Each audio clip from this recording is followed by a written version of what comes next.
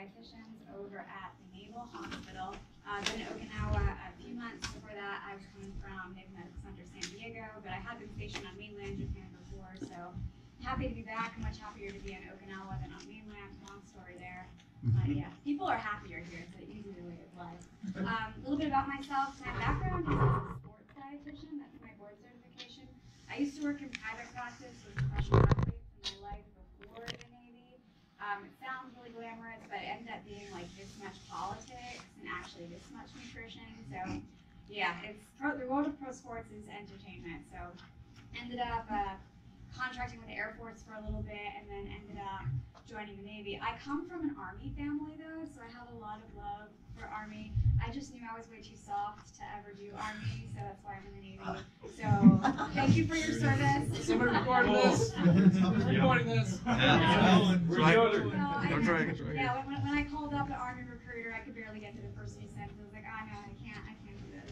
It's, it's all right. So yeah, a lot of that. My father served for 24 years. My, my brother went to West Point and serving eight years after that. So definitely a, a lot of love for the army. So the objectives for today's class is to hopefully clear up some nutrition mythology because there's maybe no other area in the medical field that has as much mythology out there as nutrition. It's very confusing. Like you open up a magazine, you'll read one thing that says something like, "Oh, omega threes are the, the best for you. You're going to live forever. You're going to have better workouts." And the next day, you read some other article. It's like, "Hey, they're going to give you cancer never have them." So it's very confusing. Um, and especially, we tend to flock to people who are very athletic. And we look at them in the gym and their performance, and they have high muscle mass and low body fat, and we want to emulate what they do. So we go up and like, hey, what are you doing? What supplements do you take? What are you eating? And we end up trying to copy that, when in reality, they're just extremely gifted people, very genetically, you know, endowed to have that kind of body type, and they could be eating just Twinkies and donuts and looking great, but that doesn't mean that they're living up to their potential. So that's kind of what I want. The biggest takeaway from today is again, you can be eating crap, still performing athletically well, but you're nowhere near your potential. And just because you might be better than everybody else around you, I don't want you to be there. I want you to be here. So it's about challenging yourself to say, how much better could I be doing if I ate well? Um, so many athletes that I work with through the years, you know, they're on the covers of magazines, they break world records, and I say, okay, we tend to think of these people as healthy. You go out to Araha Beach and you again see someone who's high muscle mass, low body fat, we assume that person is healthy. But I have a lot of my clients get some blood work done, and like, dude, you look like a very sick 95 year old drug addict. What's going on in the inside of your body? So again, a lot of times these, the lab work, there are other measures of your health than just how you look. Is everybody with me on? Okay, so we're gonna, un- we're, the goals for today is we're gonna understand what, besides the Army and the Navy and the DoD caring about our weight standards, what are the other health reasons why we care about being overweight and being obese? I want you guys to sort of understand, you know, different food groups and portion size and the basics of that. If you're interested in weight loss, I want you to understand what a safe amount of weight is to lose weekly because yeah, those that when they say like lose 20 pounds in 20 days, yeah, those are not always the safest things. So I want you to understand the safety of this. And I want you to be able to leave here today with a couple really tangible goals of some things like, hey, what are a couple things I might want to work on over the next few weeks after coming to this class to improve the quality of my food and help me reach my nutrition goals? So we've heard that word obesity before. Anybody want to be brave and take a stab at how do we measure obesity? No. If you're fat, You you're got a fat. thirty-two on your above on your BMI? So BMI, yes. What does that stand for? Body mass index, right? What? So what exactly is BMI measuring? A lot, a lot of people think it's body fat. It's, it's. Weight. It's a ratio of just height and weight, okay? So all that BMI is is a really inexpensive way of trying to assess somebody's risk for health concerns based on a ratio of their height and their weight. And we have that, you know, ranges of values that say, oh, is your normal weight, below weight, overweight, obesity. So again, being obese just means that you're high on the BMI chart, likely to have some other health risks. But again, I could have two people that are 5'10 and weigh 220 pounds and look completely different, right? Mm-hmm. One person could be jacked and big muscly, and the other person could be a couch potato, never gone to the gym, never lifted a weight in his life. So again, they could have the same BMI, but again, health factors are going to be very different. So again, for very athletic, muscular populations, BMI is not telling us the full story. So again, more than one third of U.S. adults are overweight now, and a lot of that has to do with how much money we're spending on food outside of the house. Over the last 20, 30 years, it's uh, much more common now for both caregivers, both parents in a house to be working. So whereas it used to be more common that one person was kind of home doing cooking, making meals for a family, if you have two parents in a household that are both out of the house working, a lot of families are looking to more convenient foods and they're getting more frozen things, going to restaurants more often, and these restaurants are filling their foods with fat and sugar and salt, the things that taste the best. So on average, people are eating about 200 calories a day more than they did 10 years ago. So we've heard that word calorie before, right? If you had to explain to an eight-year-old what's a calorie, how would you explain that to a child? Energy, yes, excellent. You guys are smart. So yeah, calories are not little demons that sneak into your closet and sew your clothing tighter. It's not a calorie. Calories, energy. So gasoline is to a car like calories are to us. It's one of the main reasons why we eat food is we're trying to give our bodies enough energy. So it's important to understand what calories are, right? So did you know that the majority of calories that you eat in a day just go to keeping you alive? Like if you were like laying in a coma, you would still be burning a ton of calories. You're burning a ton of calories right now, even though you're just sitting here. Your organs are always working, your heart, your brain, kidney, your liver, your lungs. There's always something going on in your body, and you're regulating your own body temperature. That's very what we call metabolically demanding. You burn a lot of calories doing that. So huge chunk of your calories just go to keeping you alive. Then you have daily living, right? You get up, you move around, you take a shower, pour yourself coffee, just moving around. You burn a few extra hundred calories doing that, so you need that. On top of that, you have planned physical activity, or maybe you have a physically demanding job. Those are your total calorie needs for the day, partially based on your age and genetics and gender. You know, there's a lot of different factors that go into somebody's calorie needs. Obviously, like a teenage kid is going to need a ton of calories because they're still growing, right? So, different points of your life, you need different calories. So, I, I'd like everybody to really understand how this works because it's a really important part of weight management. If every day, on average, I'm eating about as many calories as I need and I'm burning that off, I kind of equal out to zero. What comes in gets burned off. Is everybody with me on that? If that happens, I do not gain weight and I do not lose weight. That's weight maintenance, okay?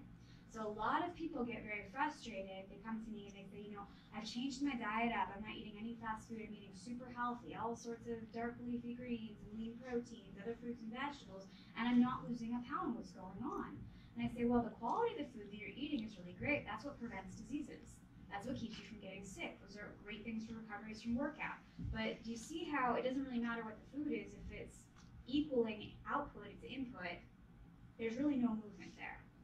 To if we gain weight, it's because you start taking in extra calories above your needs. Okay, so there's no one individual food that makes somebody gain weight. It's all together. If you take in a few extra hundred calories than what your body needs, think about it like getting like a bonus check, like a holiday check. You get a few extra hundred dollars in your paycheck. Like your body's like, oh, score. This is cool. I have some extra for a rainy day, and so extra calories above what your body needs get stored in fat mass. Okay, so that's what those a lot of those fat cells are. Calories stored for a rainy day, because your bodies have no idea what day and age you live in. Okay, our bodies are designed for hardship primitive times where you don't always know where your next meal is coming from. So biologically, like from an evolutionary perspective, it was very helpful to be if you had some extra food to be able to, to hoard that as extra fat mass so that in times of famine that you would be able to survive off of that. Okay, everybody with me on this? So for weight loss, it's typically people are eating and taking in you know fewer calories than what their body needs. There's a deficit.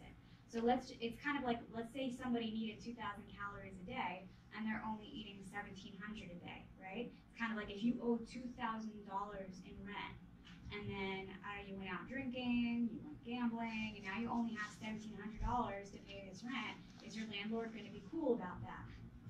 No, you're going to be like, you have a deficit. You owe me three hundred dollars. The body's kind of the same way. You have a certain amount of calories that you owe your body.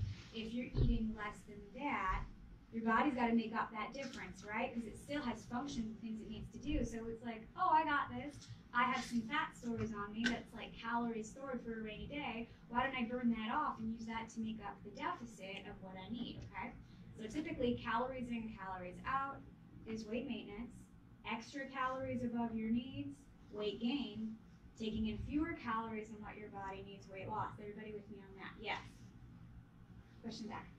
How do you figure out what it is that you need on a? So typically what I and a lot of has anybody here tried counting calories? Is it super fun and wonderful and you want to do it all the time? It's like the worst thing ever. I wouldn't wish it on my worst enemy. So typically what I what I teach my patients is, you know, as your dietitian, you tell me like about an average day of food for you, I just calculate it in my head. I, I can kind of see where you're at. But for you guys, it's about sort of I want to be obsolete. I want you not to need me. I want you all to be your own dietitian. So it's about learning about what I call calorie density. So understanding what is higher calorie, what's lower calorie, being able to look at your food today and say, well, what are my average habits today? How can I make a choice tomorrow that is just lower calorie than what I'm doing today? If every day you go to Subway for lunch and you get a 12 inch sandwich with salami and cheese and the chipotle sauce and let's throw some mm. ranch on there and a soda and chips. And we say, okay, maybe I don't need to count out calories, but what choice can I make tomorrow from Subway that's going to be lower in calories? Say, okay, instead of doing a 12 inch sandwich, what if you did a 6 inch and then a salad with the double protein? Instead of the heavy Italian meats, you can do the lean ham, you can do the roast beef, you can do the jerky. Maybe we can do oil and vinegar dressing, or instead of the chipotle and the ranch, maybe just choose one. Maybe one day do cheese, the next day not do cheese. Maybe instead of the soda, you do a water. Maybe instead of the chips, you do a fruit. You know what I mean? You can start looking at your day to day, write it down. What are my average habits? What can I choose tomorrow that's lower in calories? So that way you can achieve weight loss without having to count the calories and you kind of look at the whole day of food. The other reason why I don't like counting calories is that you can cheat yourself. So many times I've seen people, they're like, well, my calories work out. It doesn't matter that I had 700 calories of donuts and beer. I'm still in my, my calorie range for today. So if you start looking at it like that, I'm a dietitian. I can cheat. I know. I got a running tally in my head of what I'm eating. I can make room for the Dunkin' Donuts. If you if you learn how to do that, you you're not looking and judging your food day by health, quality, and patterns the way I really want somebody assessing their health. The other thing about counting calories that I don't like is because it is super annoying, and maybe right now you have time to do that, but what happens when you deploy or you're about to PCS, life gets in the way. You work for the army, you have a million annoying things you do every single day. If you only know how to manage your weight by doing something else that's super annoying, the minute you get busy, all that goes out the window because it's so labor intensive. So I like to teach more just about kind of looking, hey, am I eating three meals a day? Am I eating two to three snacks a day? What am I eating when I'm hungry? I want you to listen to your body. That's the other thing about counting calories that I don't like personally is I feel like people don't listen to their bodies. They say, oh, I'm hungry, but I've had enough in my calorie plan today, and that can lead to binging later on because you just get so hungry. So let's say some days you are a little bit more physically active than others. I want intuitive eating. If your body's actually hungry, I want you to be able to listen to that. So again, other reasons why I'm not a huge fan of the calorie counting because I think it drives away from that intuitive eating. But for my calorie counters out there, this kind of brings me to my next question.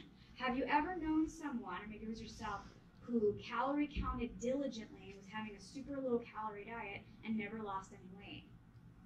You see that happen all the time, right? So it's not just calories, is it?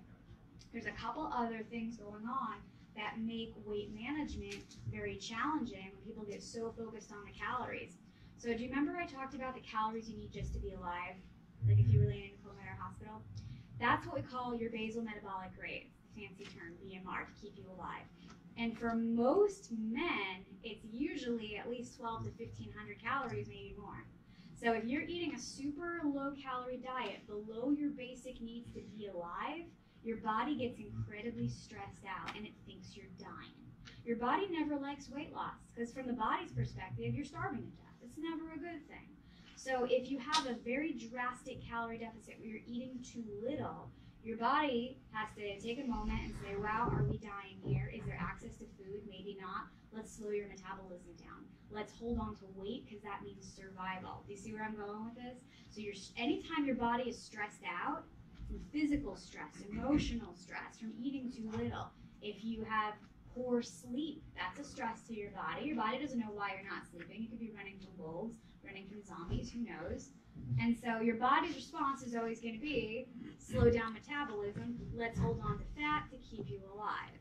So stress management becomes a really important part of weight loss and getting enough good sleep, dealing with your workday as well and managing that stress because when you have emotional stress, you have physical responses, right?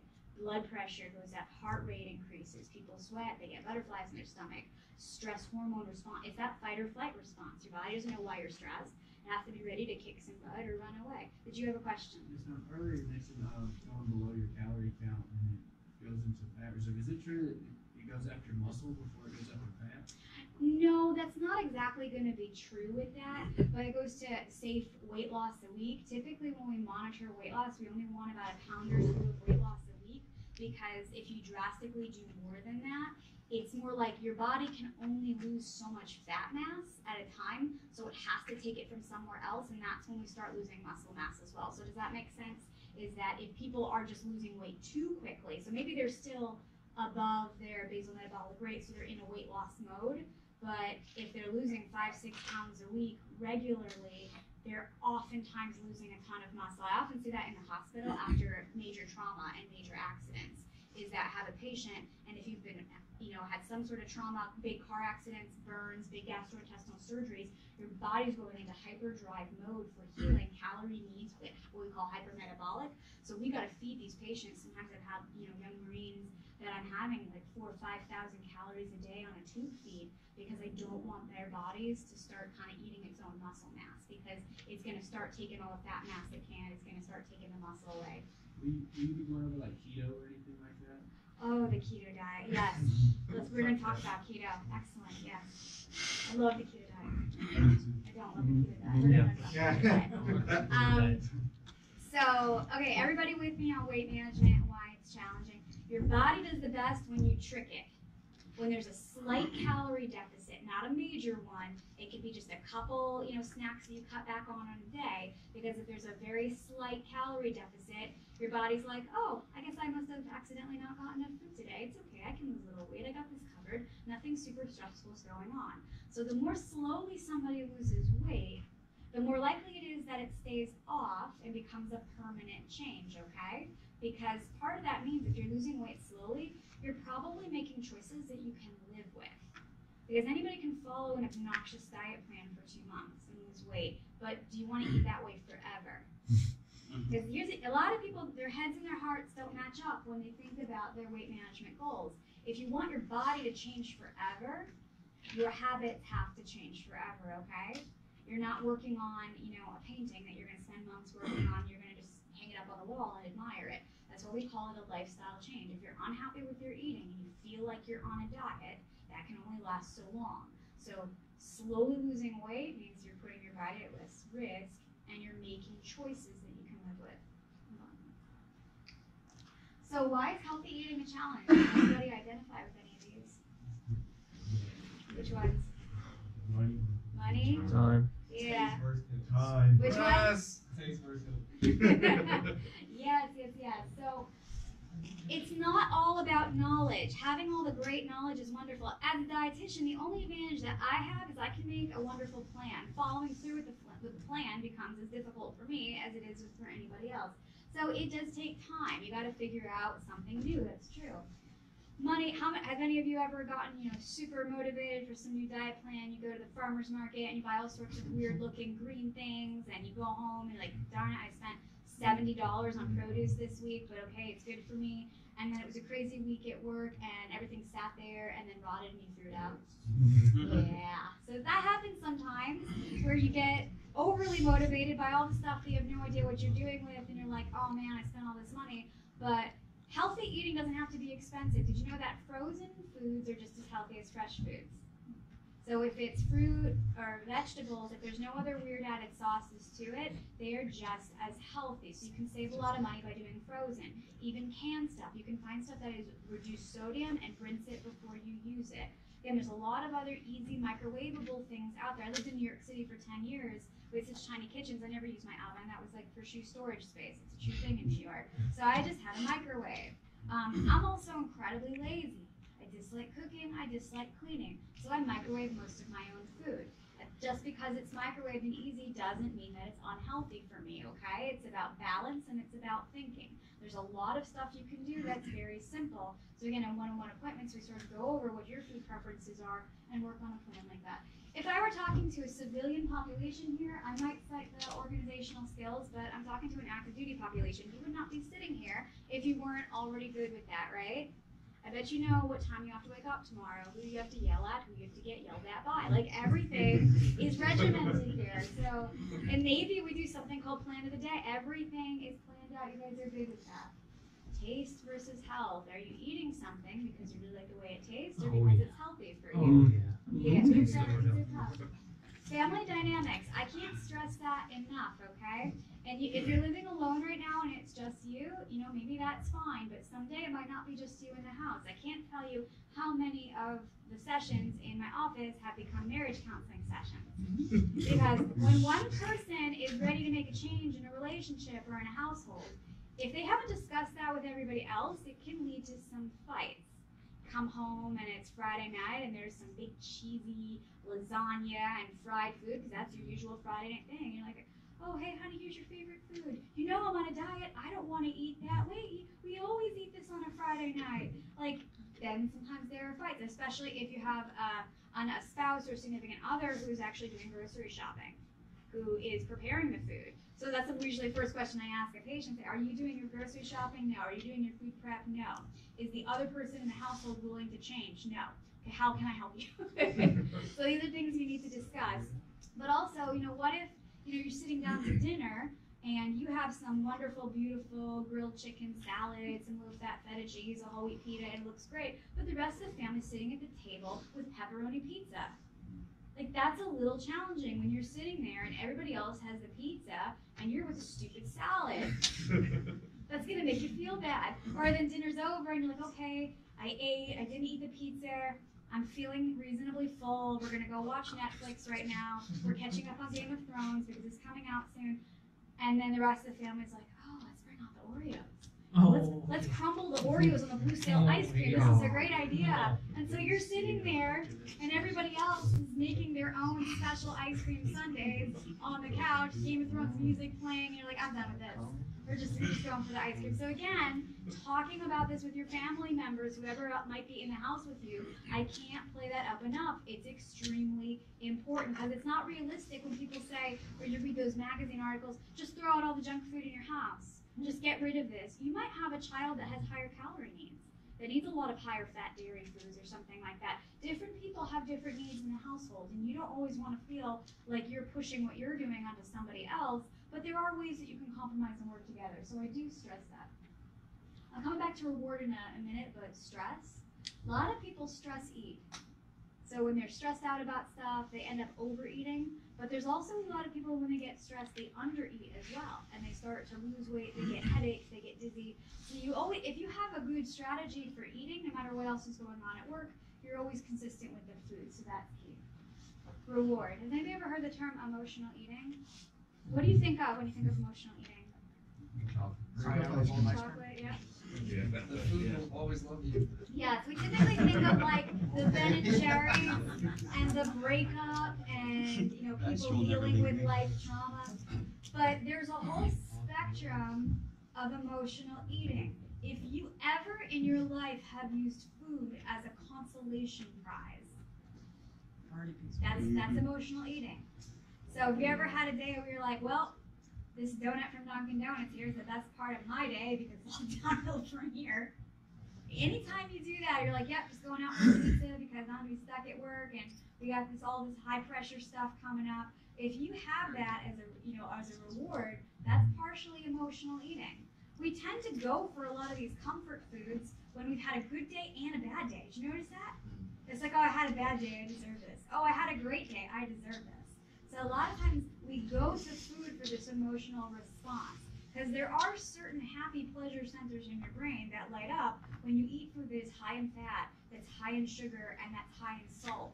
Those are the things that are the rarest in the, in nature that are key to survival, and that's why your body is wired to like these things. So occasionally I'll have people that are like, I never crave anything sweet or salty, and I'm like, and you keep telling yourself that, like. A lot of that is biology. It's true that once you start eating healthier, you don't crave them as often. But I don't live in a world where I think just because I want to eat healthy that McDonald's fries stop tasting delicious. Mm-hmm. Like that's a reality. so again, it's about finding this middle ground there. So this is the cycle of dieting. Has anybody ever lived this? Knew someone who lived this? It's like let's say it's January first, they got the start of their new diet plan. They maybe bought P90X or Beachbody or started some HIIT training. Yeah, and then they have this initial motivation. They lose the five pounds. They, you know, you're doing more pull-ups and stuff, and you're like, this is awesome. You get positive results. So let's say that was January first, and now it's getting close to mid-February. All the Valentine candy comes out, Mm-hmm. and then after that, it's like the St. Patrick's Day candy and drinking, and then the Easter candy. Like candy starts rolling mm-hmm. out, you know, mid-February there, and you're like, okay, I've been doing pretty well. I deserve a little treat. I deserve some Reese's or some, you know, you have time to go into your boss's desk. They got the big bowl of M&Ms, and you take a little handful. And then all that, you maybe you lost that 10 pounds, but maybe they came back and brought, brought five pounds of friends with them.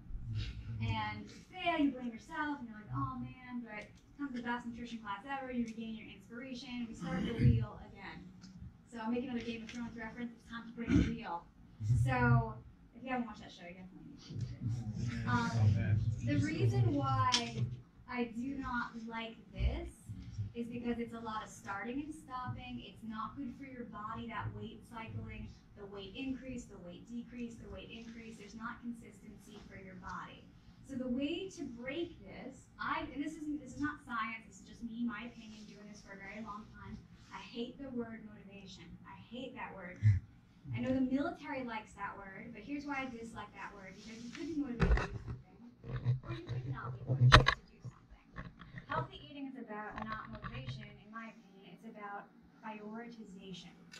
Like for us, you know, we always scan these crazy watches or something. You gotta you gotta go for a deployment. You gotta go to work early. It's somebody's birthday and you have to work. Or, you know, we all do these things all the time that are really hard, that are really uncomfortable. And when that happens, none of you are motivating yourself to do that. It has to get done, right? It, you don't mm-hmm. question it. It's a prioritization. So when healthy eating moves from being something that you're kind of motivating yourself to do to being something that is a true priority for you, it doesn't matter if there are ups and downs. You never fail because you keep going, okay?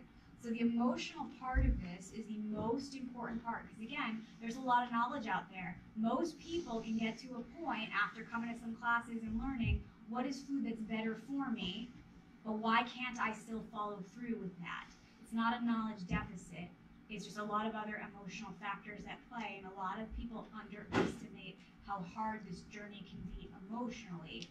So I think it's important to really acknowledge that and to really think about why do you want to do this?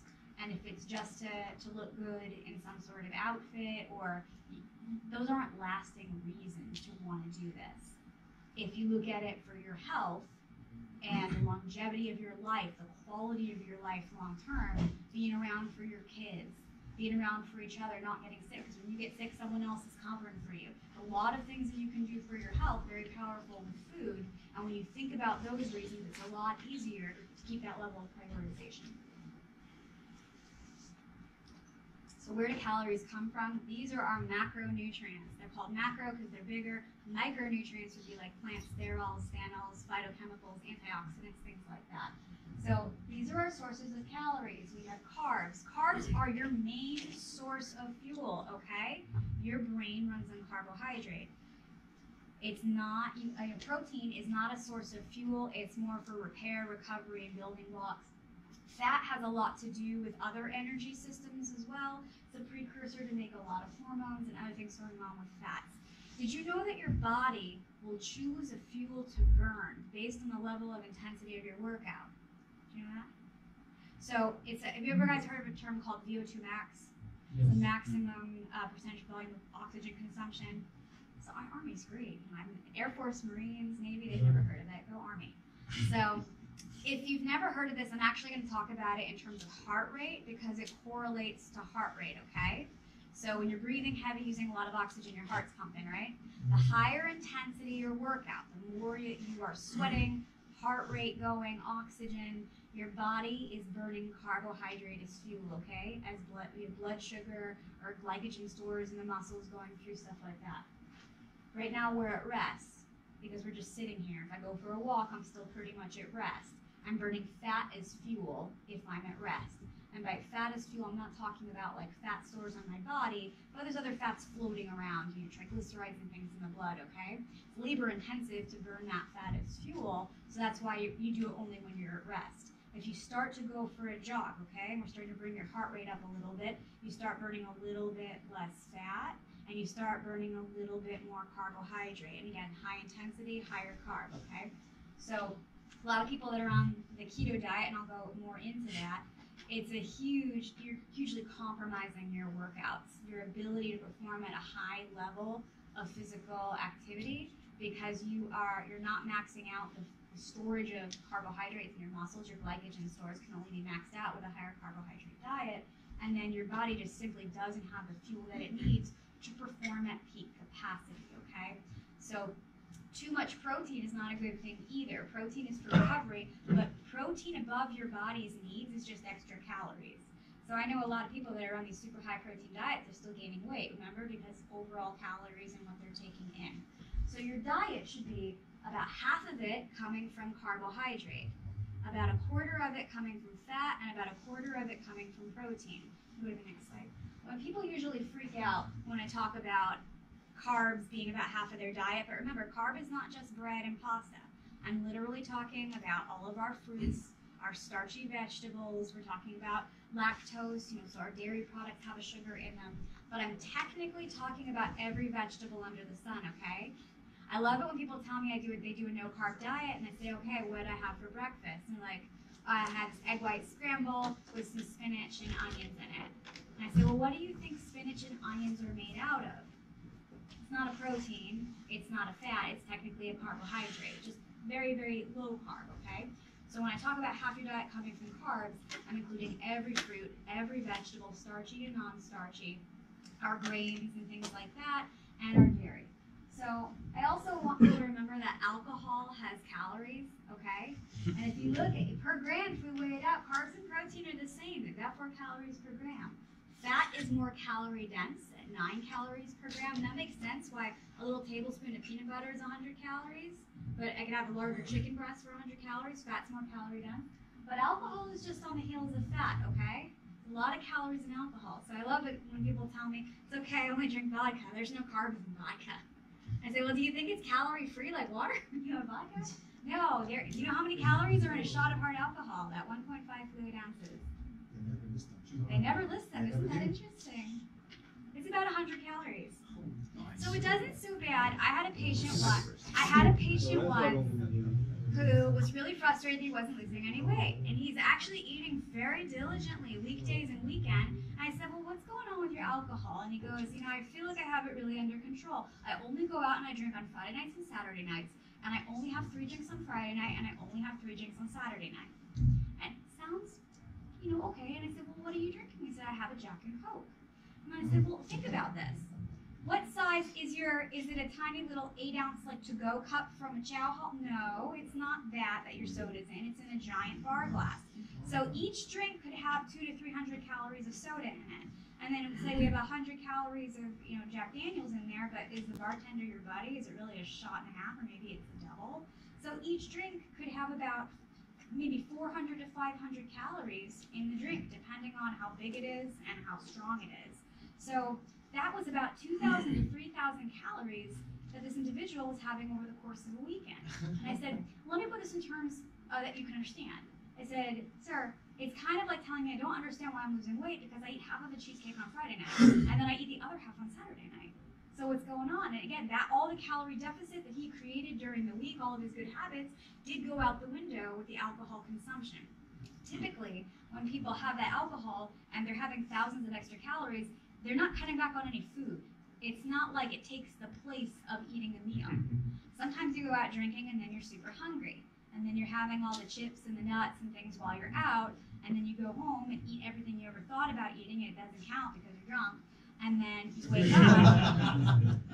and then maybe you're not hungry for breakfast or lunch or you overslept. You feel a little sick. But then what happens by the time dinner rolls around the next night? Typically, people are super hungry.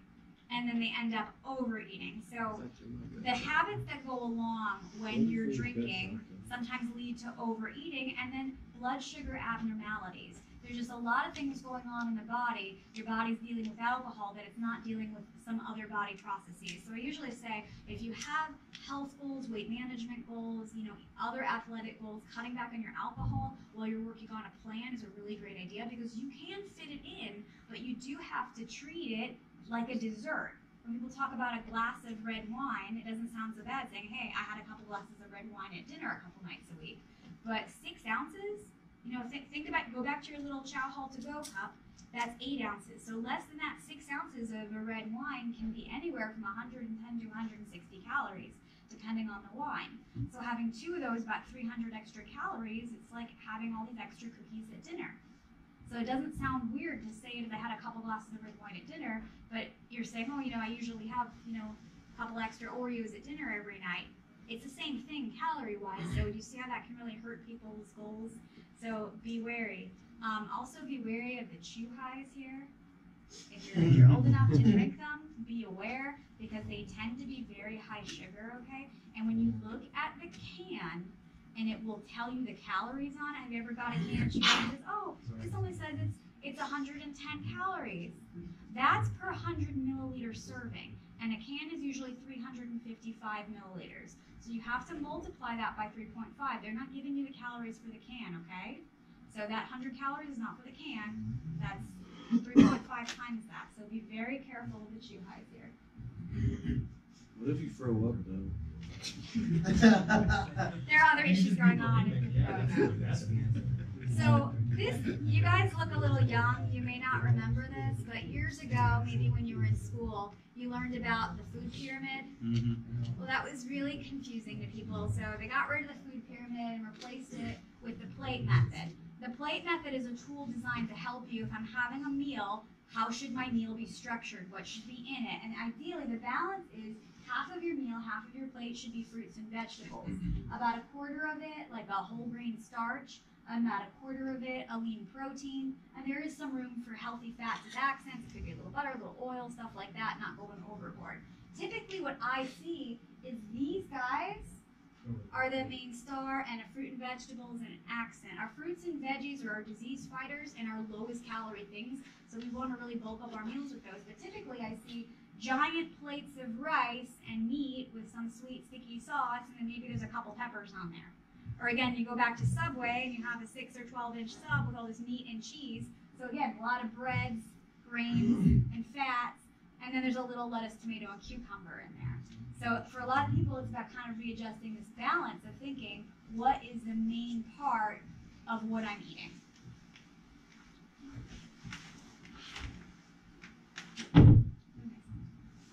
So when it comes to our starches and things like that, I'm not going to get into the, the exact specific portion size that everybody needs. You kind of go back to that plate method of saying, hey, is about a quarter of my plate a, a healthy starch here? But I want to talk about whole grains. Has of you ever heard that term? A whole grain? Why would you eat a whole grain? What's the benefit? Uh, fiber? Yes, extra fiber and extra protein. So fiber is a special type of carbohydrate that aids the digestive process and makes it so that you're not constipated, that you can have regular bowel movements, helps uh, to lower cholesterol as well. So a lot of people are not having enough fiber in their diets because they're not seeking out these whole grains. There's a lot of white bread and white rice and regular pastas and white potatoes, all these things that have no fiber in them. So, and some people ask me, like, you know, I looked at a food label and I saw that the whole wheat bread and the white bread had the same calories. Why should I pick the wheat bread if it's the same calories as the white bread? I say, well, also look at that label, even though they've got the same calories, like brown rice and white rice or a whole wheat tortilla, white flour tortilla. those whole grain versions have a ton of fiber and a ton of protein in them. So that keeps you fuller for longer. Because protein is slow to digest and fiber is super slow to digest. So if I eat the white bread turkey sandwich, it might digest and I'm hungry an hour or 90 minutes later.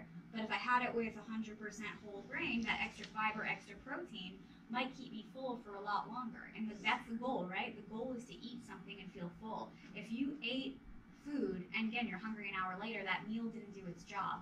A meal should keep you full for at least four hours.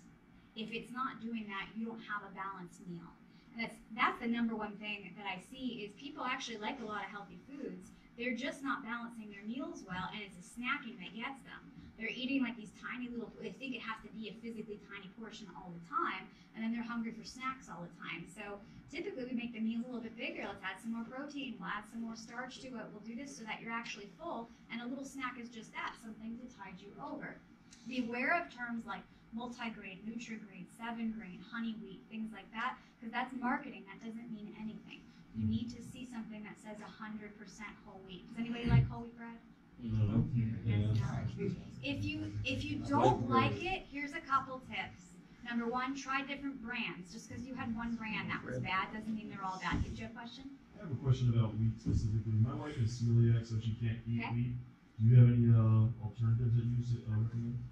So for people who have either a gluten sensitivity, a gluten intolerance, or gluten allergy, remember wheat is just a type of grain. There are many other types of grains out there, and they do have gluten-free breads and stuff like that. I gotta be honest, the gluten-free breads are not very tasty. So for my patients with celiac, I know it sounds weird, but it's much better. The gluten-free waffles are much tastier. Just make a sandwich using the gluten-free waffles, or you can get a corn-based tortilla because those are gluten-free, and do wraps like that, or grill it like a quesadilla on both sides. So typically, that's what I have my patients uh, with celiac do, and they'll focus more on other rices and potatoes and other grains. It's just the the bread without the gluten is just kind of nasty. It, it's a little better if you grill it.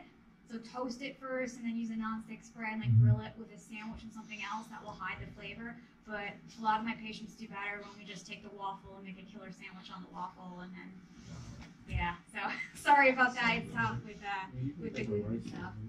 So again, going back to gluten uh, to 100% whole grain breads, try a different brand. Have you ever heard of white wheat? It's an albino grain, so it looks and feels like white bread. So some of them, like Sara Lee, has a, a bread out there at the commissary that's a mix of white wheat and other um, white flour, so it's got more fiber and more protein in it. But you may need to change up the texture. Like maybe you don't like wheat bread, but you like a whole grain English muffin. Or have you seen those bagel thins at the commissary? Like those, are, even if those aren't the whole grain, but they still have a good texture because you're looking for the fiber and the protein there. But let's say like even you're looking at brown rice or white rice. Anybody like brown rice? Power to you. I dislike brown rice quite a bit. I think it's also kind of nasty. But if I change the texture of it, I'm okay. If I'm making a healthy fried rice stir fry, it's totally different for me. If I'm doing it in a soup, I'm good. Sometimes I just pretend it's like a pasta dish and I'll put marinara and some turkey sausage in there or something else. If I change the texture of the brown rice, I'm good. Same thing with um anybody like a whole wheat tortilla? Hell yeah. Good for you. I, I wish I could. I wish I could. I, I like a white flour tortilla. I even just like a corn tortilla, and that counts as a whole grain. So if I'm making some burritos or something, say, okay, it's not the end of the world. Just make half of your grains 100% whole grains. Not everything has to be perfect. So I, I'll do the whole wheat bread. I'll do, you know, the brown rice, and I'll do oatmeal. But if I'm gonna have tortillas, I'm gonna have a white flour tortilla. And the world doesn't end, okay? A mm-hmm. lot of people look at healthy eating like they're playing a video game. They're going along collecting points, and then they hit something, and it's like, whoop, game over. It has to be perfect. There's no game over, okay? Good nutrition is about what are you doing 80% of the time. There's room for these things in there. Just pick a white flour tortilla that doesn't look like it could double as a carpet in your house. You know, take take a smaller one and pair it with other things to digest slowly. Same thing, if you only like white rice, it's okay to have a dinner with white rice. Measure out a cup, cup and a half, pair it with other things that will help it to digest slowly. So a healthy protein, you can have some grilled teriyaki chicken, grilled peppers and onions, other stir fry. If you pair that with something else, it doesn't do that thing where it digests really rapidly, spikes your blood sugar up, and your blood sugar drops, tricking you into feeling hungry again, okay? So the key is just don't do it by itself. Anybody like sweet potatoes here? Sweet potatoes, a lot of good nutrition, more than the white potatoes, so getting that into the mix can be very helpful. Did I see another question here? Uh, you, there's also brown. There's besides brown rice, there's red rice and black rice too. Mm-hmm. And so yes, and especially wild rice. Oh, So yeah, there's, love there- those. yeah, wild rice is super healthy. Wild rice and brown rice are gonna have some of the most fiber and protein in them. Also, has anybody ever tried quinoa? Q U I N O A. Quinoa, it looks like that Mediterranean pasta couscous. It's like it's like little balls. It looks and feels like a grain. Technically, it's a seed. You boil it up like you would rice, but a lot of people take try it and then they're like, eh. Mm-hmm. But if I gave you a giant plate of plain macaroni, you'd probably be like, eh. You gotta dress it up. You gotta do something to it. So a couple, you can do with quinoa anything you would do with oatmeal. So sometimes I'll do it with a little cinnamon brown sugar, sliced fruit, and do like a breakfast quinoa. Anything like a rice pilaf you can do. Um, my favorite is I call it pizza quinoa. So anything that would be going on a pizza is going in a quinoa. Put some marinara sauce, some basil, oregano, to- veggie toppings, and do it like that. Sometimes just melt some low-fat cheese on there and do like a mac and cheese old school style. So you can do things to quinoa that will make it better. People put it in chili as well, like a quinoa black bean chili. So if you do something with it, it's gonna taste a lot better there. Anybody like beans and corn and peas? They all count as starches. You get a lot more bang for the buck. For bigger portions of your beans and your corn and your peas, you get more fiber and more protein than what you're doing with the pastas and what you're doing with the rices. So a lot of people, once they start moving away from just doing pasta and rice to some of those other things, they end up feeling a lot more satisfied with those starches. Anybody like oatmeal? You don't lose any nutrition with the instant oatmeal, okay? So instant oatmeal is just pressed so that it absorbs the water faster. Especially good thing to put your frozen fruit into because that's cheaper and you're just gonna microwave it anyways. So when it comes to fruit, fruit comes many different ways, right? It comes fresh, it comes dried, it comes frozen, and it comes in a can. Fruit is a sugar, so remember that. A lot of people they start, you know, trying to get off the candy, and then they're just snacking on fruit all day long in gigantic portions. Still a lot of sugar for the system, so sometimes they have stomach upset from that. They still start craving a lot of sugar, so fruit is a wonderful accent, and we can have, you know, two to three pieces a day, and that's fine. But just be cautious that it's still a sugar, so that doesn't mean want to go overboard on it. So we typically consider a serving to be like the size of a tennis ball. If it looks like it's one of those Japanese apples that's been working out, you know, that could be two to three servings of an apple. Think of like your your normal sized apple as a serving size.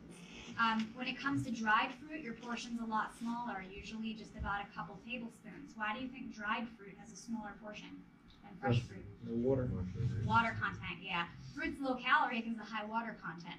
So if I started out with a piece of fruit that's this big, and then I squish it down because I dry it out, what's left is more calorie dense. It's not to say that you can't have dried fruit, but just be aware your physical portion is smaller.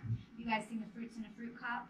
Little half cup. Those are great. They can last at room temperature a long time. You get the ones that are not in extra syrup or extra sugar, and those are perfectly fine to have, okay? And again, frozen fruit just as healthy as fresh. They'll defrost very quickly as well. Anybody like fruit juice? Yeah. What's our favorite fruit juice? Apples. Sunflowers, orange juice. Pineapple. Pineapple. So we have, we have a lot. We have a lot of juice fans here.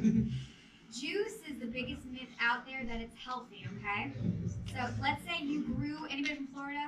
Okay. So let's say you grew your orange tree in Florida. You planted it as a kid. You do your military career. You come back. You're retiring there. You got a juicer. You pick this orange and you juice it Sunday morning. Sounds super healthy, right? This freshly mm-hmm. squeezed orange juice, not coming from a weird farm that you know used lots of chemicals or weird things. When you drink that glass of juice, it is the same to your body as if you just had a glass of Coca-Cola. There's no difference. Liquid sugar is liquid sugar is liquid sugar, okay? And liquid sugar does not exist in nature. Most people do not sit down and eat eight to nine oranges, but it's very easy just to have the sugar of that in one juice. So a lot of people who get very overwhelmed with nutrition and thinking about where to start, look, are you drinking your calories? So sometimes I look at people, they're having a lot of juices a lot of sodas, a lot of sweet teas, or other energy drinks or things that have a ton of sugar in them. Yet it doesn't typically make you eat any less just because you're taking in hundreds of extra calories of a liquid mm-hmm. sugar. The more sweet you have, the more you crave, the more your appetite goes up and out of control. And unfortunately, it's the same for fake sugar too. So even if you're having Crystal Light and MiOs and diet sodas and diet Snapple all day long, mm-hmm. even though it may not be the exact calories, you're still turning your brain on and wiring it to want sugar, to want carbs, to increase your appetite. So a lot of people have difficult appetite control because basically every time they put a drink in their mouth, it's like having dessert. And that's when I have you ever heard somebody say that? And so when somebody says I don't like the taste of water, I say, well, what else are you drinking? And I look at what they're drinking and say, well, if everything else you're drinking is dessert, why would you like water? Of course not. But you build up a tolerance to sweet. So a buddy and I could go to the coffee shop and I could put one packet of Splenda or Equal or real sugar into my coffee, and my buddy might put five, and it could taste the exact same to both of us. Mm-hmm. Just like alcohol, you build a tolerance. Same thing happens with sweet stuff. So a lot of times, people start having all these sweets and nothing tastes sweet anymore. Versus the person, you know, think about has anybody ever tried one of those ultra low carb diets? Mm. And they go weeks and weeks without eating anything sweet, and then they have an apple, and it's like it's a gift from Mount Olympus. Oh my gosh, this is so sweet. Because you're sensitive to it. Because you are you, and that's how you want to be, right? You want to be sensitive to having a piece of fruit and having that feel really sweet, so that you're not always having to go to chocolate or to ice cream to get that kick of hey, I want something sweet. So yeah, just be mindful of the juice. Because every day, if somebody just even had that little eight ounce cup of juice at breakfast and they decide to change it out for water, they're going to lose 10 pounds a year without doing anything else just by looking at what their beverages are. Does anybody like coffee? You like coffee? I like coffee. Running on coffee. What do we add to coffee? Sugar. Excellent, excellent. Then you actually you actually like coffee if you don't want to add anything to it.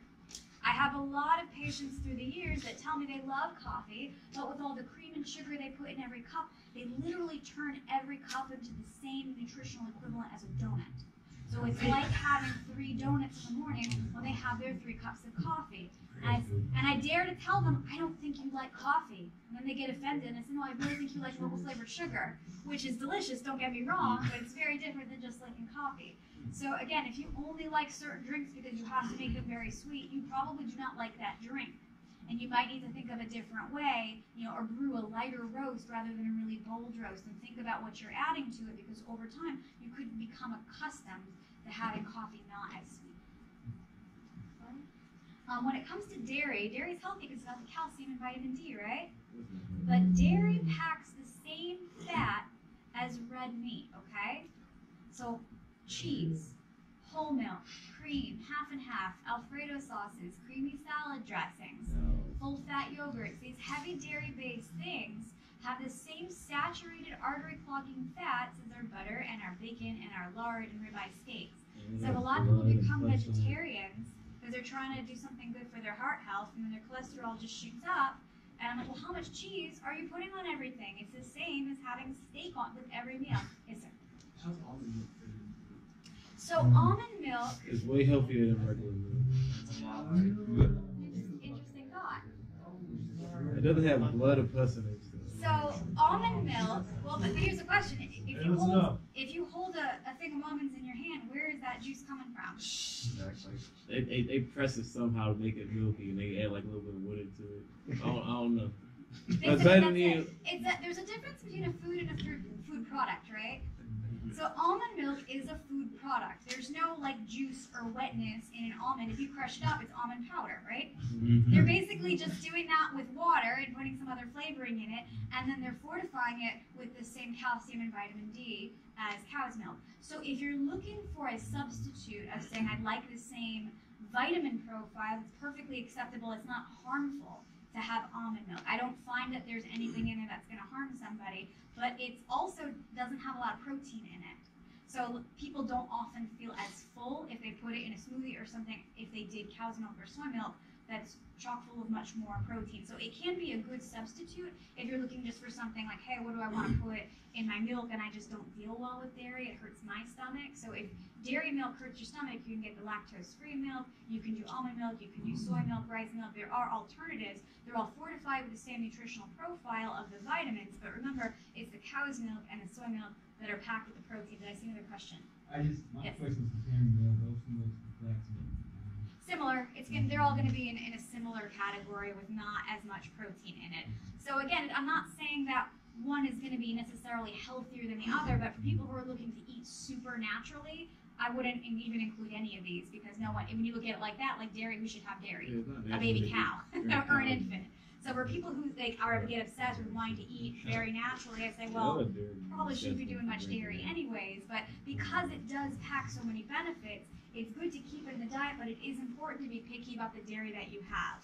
So for milks, fat-free milk, 1% milk are much better choices. If you're looking at cheese, to do a reduced fat or light cheese instead of the full fat cheese. If you rarely do cheese, you know, once or twice a week, you have a piece and a sandwich, it's not a big deal to do the full fat mm. variety. But if you want cheese every day and you're cooking with it, putting it in a scramble, making your own turkey burgers, doing like the, the cheese stick as a snack, you just need to choose the reduced fat kind. To be mm-hmm. honest, fat-free cheese is very disgusting, so I don't It's recommend that anybody eat. Yeah, it's revolting. No, no, all cheese is revolting actually. But doing a reduced fat one will still have good flavor and it will still melt. Same thing with yogurts. Just choo- choosing a light or reduced fat yogurt is going to help promote good heart health because those saturated fats from animal products that we'll talk about in a second, those are pro-inflammatory. So heart disease is a big concern, but also looking at systemic inflammation, other medical conditions, and also for your workouts, right? Want to reduce any sort of inflammation. So even if heart health is not on your mind right now, there are athletic benefits to cutting back on those saturated fats. Okay. So yeah, you can see a big difference in the calories of the whole milk, two percent, one percent fat-free milk. If you have children, what our recommendation is is that after age two, if there's no other medical conditions going mm-hmm. on, we like for children to be on one percent in fat-free milk. That's our recommendation to get them used to that as adults, so that they're not always having the higher fat milk in their diet. Again, nutritionally equivalent. So when it comes to these non-starchy vegetables, if it's not corn or peas or potatoes, this should mm-hmm. make up the bulk of your diet, okay? Because these are the lowest calorie ones, and these are the col- and the more colors, the better. I say again, if you're overwhelmed at learning, you know, where should I start with all this nutrition stuff? You know, look at what you're drinking, but then the second goal, say, am I eating something of every different color today? I wish that fruity pebbles would count, but they don't. So, what did I eat that was red? Okay, did I have a red pepper? What did I eat that was green? I had some spinach or I had some broccoli. What did I eat that was yellow? Did I have potato or yellow squash? You know, especially looking at the different colors for these non-starchy vegetables, each different color offers different benefits nutritionally. So if they're frozen, that's okay. If they're canned, that's okay. Again, canned, look for the reduced sodium. Anybody do the steamer bags in the microwave? Things like that. Yeah, they can be very, very convenient. Um, another fun thing to do with that is cook them till they're mostly done in the microwave, like 90%, and then finish on the skillet in a stove top with some of that nonstick spray or a little oil because it will cook out that last bit of moisture. Makes them taste extremely fresh, and then you've had seasonings or a sauce or other proteins that you wanted to add to that. It can make it taste much better than just putting it out of the bag frozen without anything on it. There's some really cool things hiding in the frozen sections here. Have you seen the frozen lentil zucchini pasta bags? Yeah, Birds Eye makes those. There's a plain one, there's a marinara one, and there's a cheese one. My husband really likes the cheese one. I think it's gross. I'd rather just put my own cheese on there. But it looks, tastes, and feels like pasta. Like, I, again, I'm, I married a very picky southern farmer, so I test all my food on him and see what he notices. And when I made this for him, he had no idea that it wasn't regular pasta and was super excited that I gave him a giant bowl of pasta because I never do that. Hmm. but it ta- it's just made of lentils and zucchini and egg white. So you just frozen, put the whole thing in the microwave, and they're great to add to stir fries or other things. There's also some really cool frozen cauliflower stuff out there. Have you played around with any of those? There's cauliflower mashed potatoes. There's plain and a ranch flavored one. Um, my favorite one lately that I've been making is the riced cauliflower. Have you seen that? It's a bag and it's got cauliflower that's been cut to the size of little rice grains, some peas and carrots and onions in there. So I use it to make like a healthy breakfast rice. And so you can have the whole bag and so few calories there. Has anybody ever had the cauliflower tater tots? If you haven't, you gotta try this. They make broccoli tater tots too. So just in, yes, they're fried, but it's a cauliflower, not potato, so it is way fewer calories than if you were doing a fried potatoes. You can bake those up, and it's kind of a good hash brown substitute. Great to have with breakfast. Do you have a question? So potatoes are a vegetable though. They are a vegetable, They're but they're but they're starchy. So you just have to put them in that category of acting like bread and rice and pasta. So sometimes I have people that they're only they say, "What are, what are you doing for dinner?" And then there's bread and there's pasta, and they say, "Oh, my vegetables are peas and corn and potatoes," and it's a giant carb load. So you have to mm-hmm. take the, the, the pasta, the rice, and those starchy vegetables and kind of treat them the same way with the balance and focus more on all your other vegetables that are less starchy because they're packed with fewer calories so you can fill up on them more. Does that make sense? Yeah. So not that we have to give up potatoes, but it's just about moderating them. And if you can keep the skin on, that's where you're gonna get the fiber in a white potato there. So when it comes to protein, most people, go to the next slide, most people are eating way more than they need. The average 13 year old girl that I work with is eating as much protein as a professional bodybuilder needs nowadays. It's very easy to get protein in your diet, and more is not always better there. But protein comes lean, it comes medium fat, and it comes high fat. So again, our goal is to incorporate more of the leaner proteins. So most of the time with poultry, the skin is going to be where the fat is. So taking off the skin and having the poultry without the skin most of the time is going to be helpful. Then you can get tuna. Tuna by itself is not bad for you. It's when we start having a ton of mayo and stuff in there that you, the tuna salad can nutritionally start looking like a heavy Italian meat there.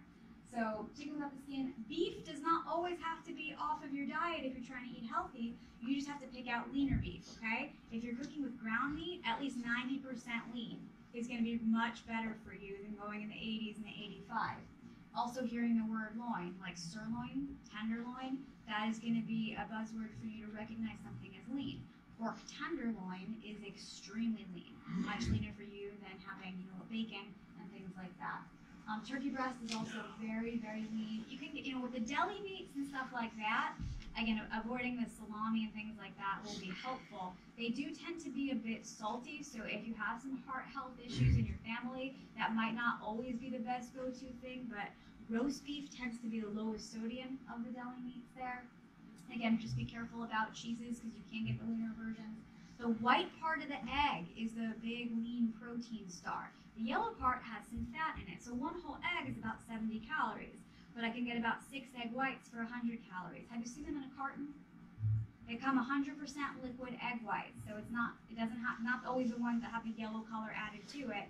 It's a great lean protein. So if you're making a scramble and you used to have four or five eggs in there, you could say, well, maybe I'll do two whole eggs and then just pour in the rest of the egg whites.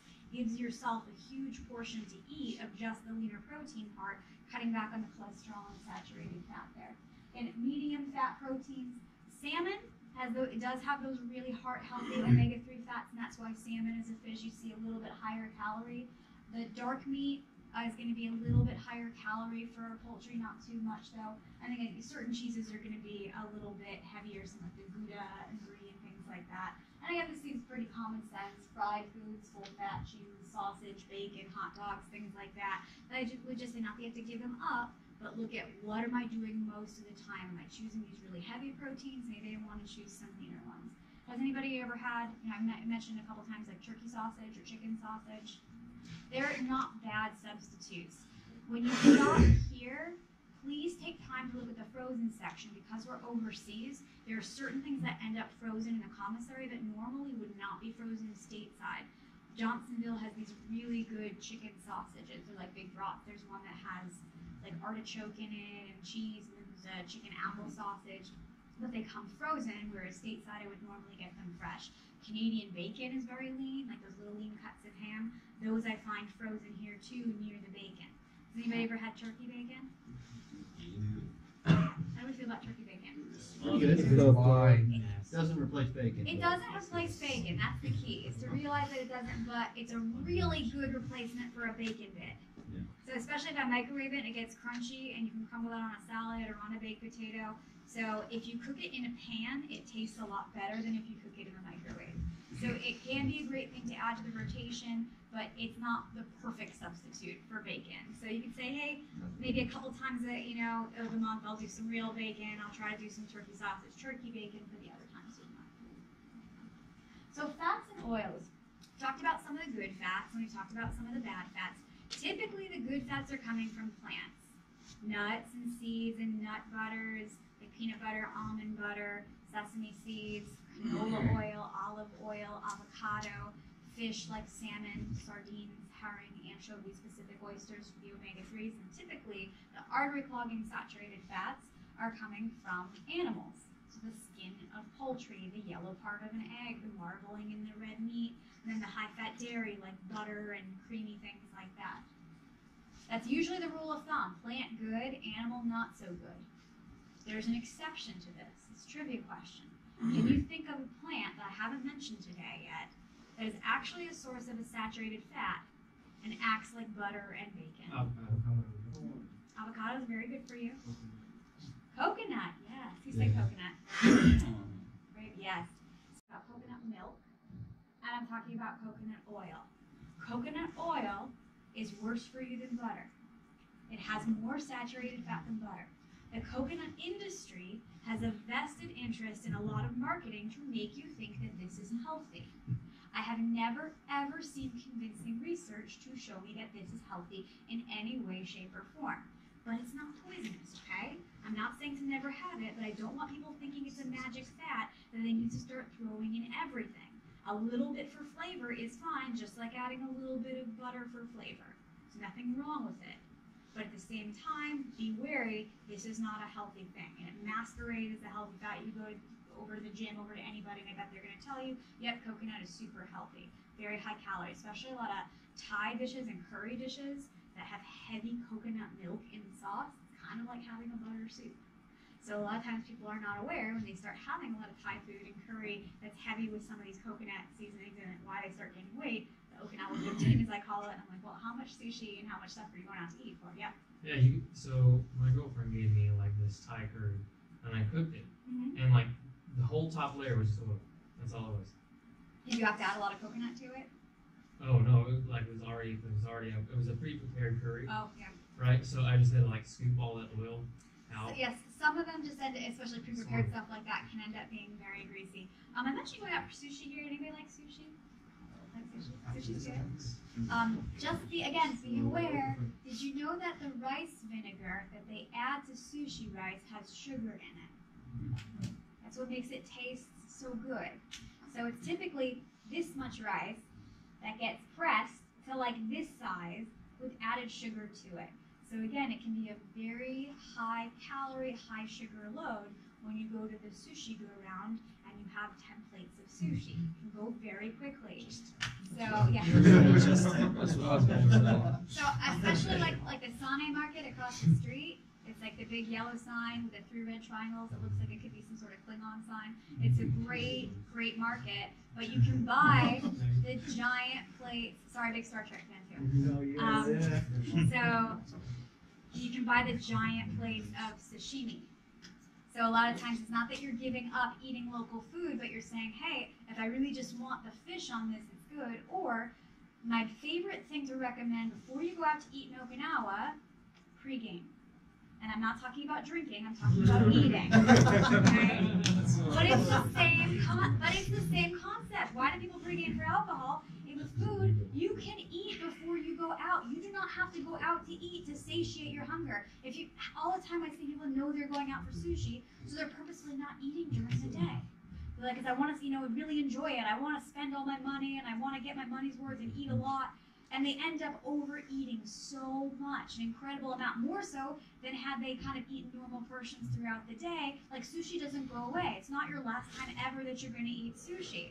So if you have a big salad with some vegetables and grilled chicken, and then you go out and you can enjoy some plates of sushi. It's not a big deal, especially if you say, okay, how many plates do I want to have with the rice?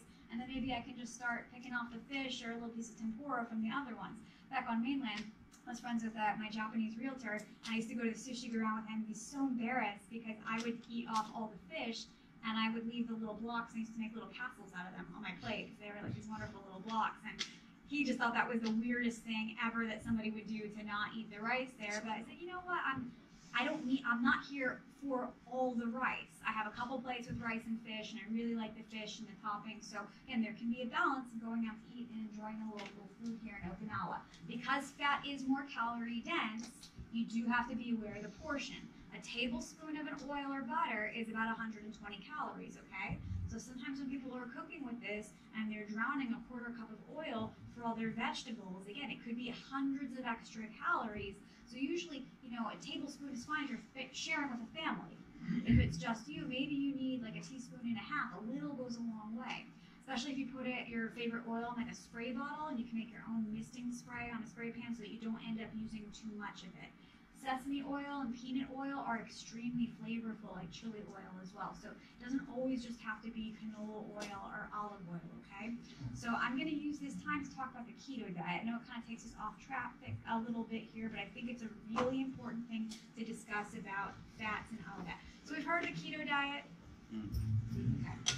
So the process of ketosis is a process that your body goes through when you're dying and starving to death, and your body's trying really, really hard to not let you die. Okay. So typically, when there's no access to any carbohydrate, your body starts to get extremely worried about this because your brain runs on glucose. Your brain runs on sugar. It is a vital fuel source. So what your body can do if it's starving to death and it's starting to oxidize some of its own body fat stores, it can take fat and make something called a ketone body that's a source of fuel for your brain. It can cross the blood-brain barrier, go into the brain, and that is the process of going into ketosis, okay? Your body's starting to make ketones to keep you alive and functioning so that hopefully you can find a carbohydrate. It's biding time for you to find a carbohydrate, okay? Now the jury's not out. We know that the body is meant to function with about 30 to 20, range of 25 to 35 percent of your diet coming from fats. Even if it's all healthy fats, more than that is not good for your heart.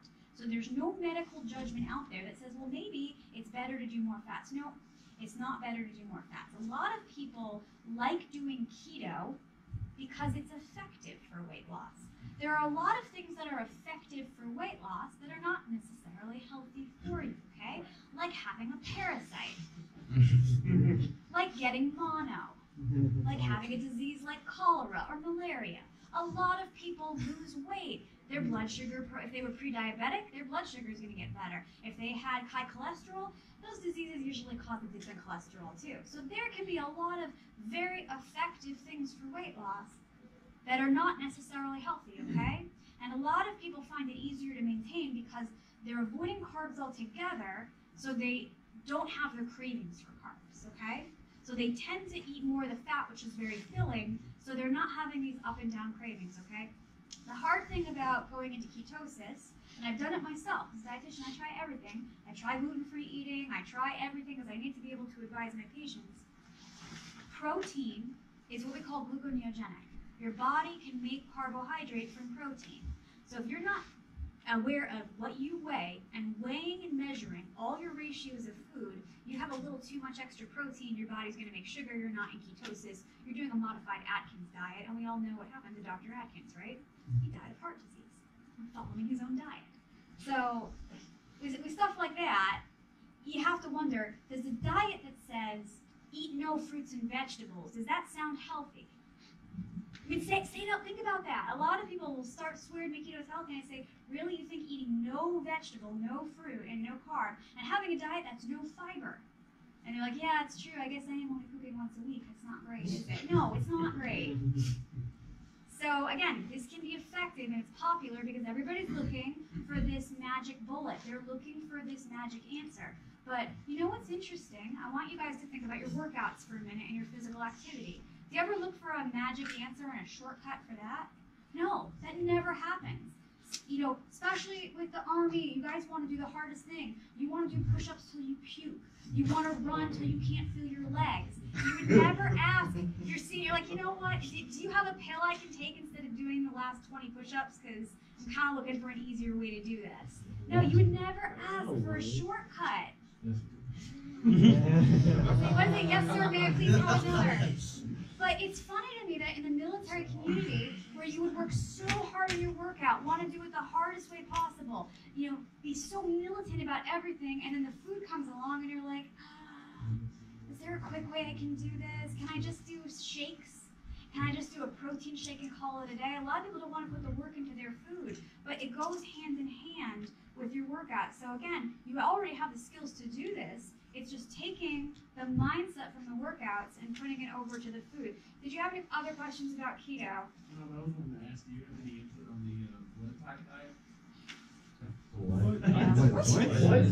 There's like these diets out there that are like eat right for your blood type. and They're just trying to sell you I something. heard that the uh, SOCOM community is doing it their, like, their nutritionists are doing it with their. I know those. They're, yeah, if they're doing it, it's it's kind of like saying that like some unit may be doing keto. I don't think it's the SOCOM dietitian that's doing it because I know those people and yeah, that's yeah we, we coordinate with them. So yeah, eating right for your specific blood type. I haven't seen any convincing evidence that that's something good to follow. Yeah. Well, what about like intermittent fasting? So that's an, that's another good question. So everybody has a different definition of what intermittent fasting is. What's yours? How, how have you heard it being done? Uh, it's, I eat for four hours, fast for twenty. Fast I or let work out. Okay. So when you are only eating once a day, and trying to get all your food in once a day, that's how sumo wrestlers like to gain weight because they're trying to slow down their metabolism. So your metabolism stays active if you don't if you do, when you're up and around being active mostly at least every 5 to 6 hours eating a little something to kind of keep you burning. So a lot of times your metabolism can slow down if you're only eating once throughout the day because from the body's perspective it's like, "Oh wow, food is a little scarce right now." So for some people, because it is so drastically different than what they were eating before, they're going to see some weight loss. I don't see a benefit to doing it, especially for very athletic people. Like for people who work out twice a day, it's your eating has to be much more regimented than even working out once a day because I'm working for recovery for the next workout. So again, people are trying to make it easy, but like anything else, it's anything worth having is not easy. It takes planning, but it can become easier with time. Most, if you think about it, most of us have the same several breakfasts, several lunches, dinners, and snacks that we rotate through. We just kind of have to figure out what those are for you, right? And then you have this arsenal of meals and snacks that are your go-to things. Hey, what do I pack with me? What do I eat at this restaurant? And that's what dietitians are here to do. We're here to take that guesswork out for you to kind of get you that list of what are my breakfast, lunches, dinners, and snacks when I'm traveling, when I'm not traveling, if I'm just in the barracks, if I'm, you know, eating just at a chow hall and I don't, I'm not even able to buy food for myself. We can help with all of that to sort of demystify some of the things and help with that middle ground. So again, some people like they love that I'm only going to eat for eight hours of the day, but you have to ask, is that really realistic? So if I get up at four in the morning, does that really mean that at eight hours later, what does that mean that I stop eating? Like, what if it's a crazy day? Again, especially you don't know what's going to happen. You might have to work late, your blood sugar drops, you get headaches, your brain is not functioning very well. So sometimes it's not realistic for people who are working long and unexpected hours with how you feel and can feel lethargic. Yes. Did that actually just send your body into ketosis? No, because if you still had carbohydrate with what you were eating, you're not going into ketosis if you have adequate carb. And again, if you were eating pro- too much protein, your body is going to make the carb out of that. The ketogenic diet actually has a medicinal use. I don't know if you guys know that. We do use it clinically for one thing. There are children who can go on the ketogenic diet who have epilepsy, and it can, for some of those kids, it can cure their seizures. It's pretty amazing. But for the parents, I can't tell you how hard it is because you think about as a parent that you're worrying is, gosh, what if I got the ratio off and my kid had too much protein and they're out of ketosis? Something about the ketone bodies in the brain help to stabilize things. We don't know quite the mechanism. But again, it's very different for a child to say, you know what, the pros outweigh the cons here. For a few years, we're going to give them a super high fat diet, no carb, and we're just going to do the best that we can because it's more important to try to deal with the epilepsy. I'm not as concerned about some of the heart health or GI concerns about having no fiber. So the Charlie Foundation, if you Google that, you'll see a lot. Have support groups for these parents that are doing this. So that's the original keto diet, and where all those recipes were developed, so these poor kids could have something to eat at a birthday party and not feel like they were left out. So these fad diets, they come and they go, and next year people are going to be excited about something else, but there's no substitute for hard work, okay? If any of these diets really worked, wouldn't we all look like supermodels? I mean, if you think about it, for everybody who went to the doctor who was overweight, they would be like, oh, we just on a keto diet or this diet or that diet, and no one would have a problem. Our diseases would go away and we'd all look like fitness models. But again, people still struggle a lot because a lot of these diets just don't work long term. Yes. Is there anything we can do to increase our metabolism or our ATP and Yes. stuff like So that? as, as far as promoting a really good metabolism, it comes down to your schedule. Are you getting up and eating often throughout the day and not going longer than five, six hours without eating, okay? Making sure that you are well rested. Getting enough sleep is very good to keep things charged. Keeping good muscle mass, putting on a little extra muscle mass can give your metabolism a boost as well. So it's, a, it's more about kind of structure throughout the day and taking care of yourself and getting enough sleep and getting enough rest to help keep things going. And that if you are trying to lose weight, doing it with a slight calorie deficit and not this drastic cut of the food that you're eating. Those are very good questions. Yes. So I did for like for a month I did keto. And then for the next like two and a half months I did intermittent fasting, kind of mixed with keto. Mhm. Did the 16-8 method, Mhm. and I've lost 31 pounds in three and a half months. So again, when, when you look when you look at that, that's a lot of weight to lose very rapidly. Sometimes that's hard on your heart. Sometimes it's hard on your organs. Some people who experience a drastic weight loss end up getting gallstones as a consequence That's of it. right so yeah, losing weight very rapidly. Sometimes you, you look at a number on a scale. The scale's not telling you how much of this was muscle mass that you lost. So sometimes a lot of muscle mass can't come on with that. So it's not to say that it can't happen, but drastically like that, those are the next questions that we worry about. Like, is there a heart health concern? Might you start developing gallstones? Did you lose muscle mass and strength from that? So yeah, these things can be very effective, but kind of slowing it down is going to minimize the risk of other things happening like that. And then again, PCS deployment, whatever, and you kind of stop thinking about it. Often people regain that weight and then a little bit more. So every time they do this weight cycle, and not, not to happen to everybody, but we see it that sometimes over the years of this up and down and up and down, there's just a little bit more, a little bit more, a little bit more fat cells that get created, which make it harder longer term to keep that weight off. So again, getting getting rid of that the ups and downs, like you, you know when your weigh-ins are, right? People sometimes people come to my office six weeks before a weigh-in, and I'm not gonna be able to help you lose significant weight healthfully in six weeks. So again, if you if you walk around at a body weight that you're comfortable with, you're you never have to worry about that coming in. When it comes to, to gaining weight and like putting on muscle mass, also please be aware, it's not like, you know, I have some ladies that are pregnant and think, oh, I'm eating for two right now. Sometimes I have that. I've worked with bodybuilders in the past or people that really want to put on significant muscle mass and they have it in their head, like, oh, I'm eating for two now. Any extra weight that you put on that goes above, you know, any extra calories coming in that goes above what your body needs to make muscle repairs and to grow muscles is going to get stored as fat. That's why sometimes I see people get really good and really strong. They build a huge muscle. But like, have you seen some of the professional power lifters? Yeah. What is their physique like? Yeah.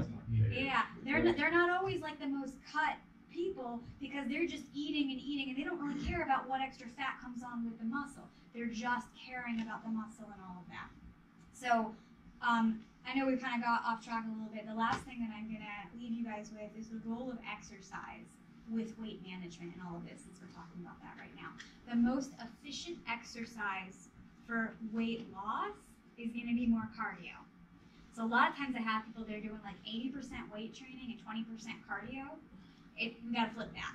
Start doing much more cardio and you do weight training, you know, to keep keep your muscle tone and all of that. Especially if you do some type of circuit training that gets your heart rate up while you're working your muscles. You guys have heard that HIIT training, the high intensity interval training. That's not a fad. That is actually based on a lot of fact.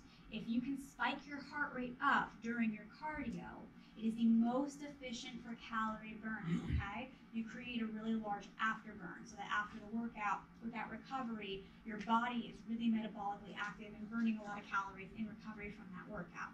So anytime that you can do more of that, it's going to be extremely helpful. Have you guys ever read like a magazine article that talked about, well, if muscle burns more calories than fat, that I should put on muscle first, and then I'll lose, be able to lose more fat mass because my body needs more calories. Have you ever heard that? So that's, I, I like to touch upon this because I read that a lot.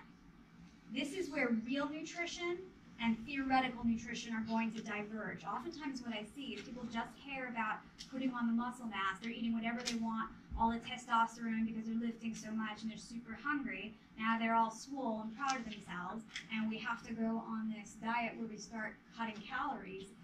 That's very hard once you've been eating a certain way and used to a certain amount of food, and now we're taking that away for the calorie deficit, and now we're changing your workouts up. They often lose a little strength and a little muscle mass, and then they're depressed because they spent all that time putting on the muscle mass, and they're just hungry all the time. So, in theory, it's a great idea. But the reality of what I usually have athletes do is say, let's get to a body mm-hmm. fat where you feel really comfortable at. We'll work on a calorie deficit. Or, you know, we're going to get half my master's is in exercise physiology, so I always get very excited about talking about this stuff. Mm-hmm. We we can work on our cardio to get our body fat to where we want it to be, maintaining good muscle tone, muscle strength, muscular endurance, and then we'll start to reasonably add some extra calories in, extra 500 to 1,000 calories a day, along with the right type of workouts, so that we're eating just enough to maintain muscle growth and muscle repair without going overboard. Because as much as I want to promise that slow weight loss means somebody won't lose any muscle mass, I can't promise that. And we can try to reduce that risk, but typically sometimes people see a little bit of a drop in muscle mass. So it's a lot easier to kind of just think, okay, I'm just getting my body fat to where I want it to be, and then I can work to rebuild, helping to keep the appetite under control. So I have a lot more success doing it that way. Yes. Uh, so what you were talking about earlier, where they get like really big and then they try to adjust that to something. You're talking about like when people bulk and they cut and they bulk and they cut. Yeah, it's just it's just hard once you get used to eating a certain way and you're not kind of caring about the calories and then we have to start reducing portions and things. It's very difficult for people's appetites to adjust and they just feel hungry and cranky all the time. It's also important for your your workouts and your eating to be timed well, okay? A lot of times people start waking up in the morning and anybody PT in the morning? I PT in the morning. Yeah, yeah. yeah. Um, over at the gym here early in the morning. You guys are all very motivating for me. I, I prefer working out at a Navy gym when people don't wake up in the morning to PT and it's less crowded. But um, a lot of people wake up in the morning and they haven't eaten anything. And they're working out doing very heavy cardio on an empty stomach. Now they call it breakfast for a reason. You're breaking the fast, right? All mm-hmm. night, your liver glycogen has been running out. That storage form of carbs in the liver is empty because it's been keeping you alive with reasonable blood sugar at night. Then you wake up and you start PTing really hard and you have no fuel. It's not to say you can't have a good workout, but if you're doing hard cardio, you're not reaching your potential. A lot of people get very afraid because they say, oh, I'm going to feel sloshy, I'm going to feel kind of gross if I eat anything. So mm-hmm. the goal of sports, this is where sports nutrition and weight management nutrition are going to completely differ because we have different goals. Weight management is all about keeping things in my stomach longer, satiety, I want to feel full. Sports nutrition is get it through the stomach as quickly as possible to get my blood sugar up and stomach empty. So even having a cup of unsweetened applesauce right when you get up in the morning, it's going to wake your body up, turn you into turn your metabolism on, efficient calorie burning, simple carbs, easy to digest, get your blood sugar up, ready for exercise, empty stomach, easier for you to hydrate to get that water in. Yes. So what about a pre-workout? You have kind of? What's in your pre-workout? So if so remember protein is protein is not a fuel, okay? A lot of times I have people mix whey protein and water and they start working out. Remember, high intensity cardio is burning carb is fuel, protein for recovery. Caffeine is one of the few legal and effective, we call it ergogenic aids, a performance enhancer, lowers perception of exertion. So a lot of those pre-workout stuff, they're not FDA regulated, okay? So a lot of times there's crazy stimulants in there. Throughout the years, I can't tell you how many soldiers, airmen, and sailors have been kicked out of the service that I've seen because they bought some pre-workout, post-workout, something on a GNC, popped for something, and then they try to say, well, I bought it on the installation. You're like, really? We don't believe you, or we don't care. So you take a risk anytime you put something in your system that's not FDA regulated. I do iced coffee in the morning. I'll brew it the night before.